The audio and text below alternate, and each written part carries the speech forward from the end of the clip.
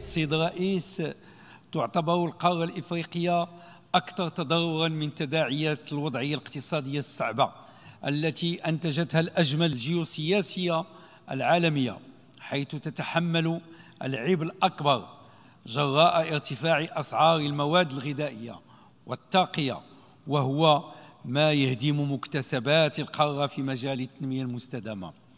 ومع ذلك فإفريقيا تتوفر على كل المقومات لتحويل التحديات للفرص والخروج من هذه الأزمة بشكل أقوى وذلك لتوفرها على موارد بشرية وطبيعية مهمة إضافة لما يمكن أن تحققه من مكاسب ومنافع مستقبلية من خلال تفعيل اتفاقية التجارة الحرة القارية الإفريقية وقد أكد على ذلك جلالة الملك نصره الله في خطابه السامي في القمة 28 للاتحاد الإفريقي حين قال نحن شعوب إفريقيا نتوفر على الوسائل وعلى العبقرية ونملك القدرة على العمل الجماعي من أجل تحقيق تطلعات شعوبنا.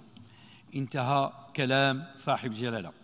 وانطلاقا من هذا التوجه تدعو المملكة إلى تقوية التعاون الدولي لما فيه صالح الدول الإفريقية من خلال تخفيف عبء الديون وإطلاق مبادرات تنموية متكاملة كفيلة بتعزيز قدرتها على الصمود في وجه الصدمات الاقتصادية الحالية والمستقبلية.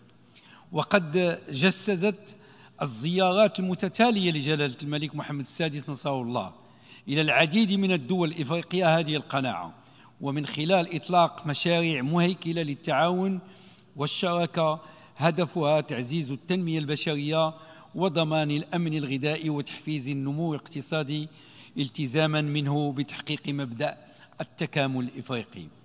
كما نظمت المملكة المغربية تحت الرعاية السامية لصاحب الجلالة الدورة الرابعة عشر لقمة الأعمال الإفريقية الأمريكية بهدف تحفيز تدفقات الاستثمار إلى القطاعات ذات الأولوية للبلدان الإفريقية. السيد الرئيس لا تزال العديد من الدول تعاني من تداعيات وانعكاسات جائحة كوفيد.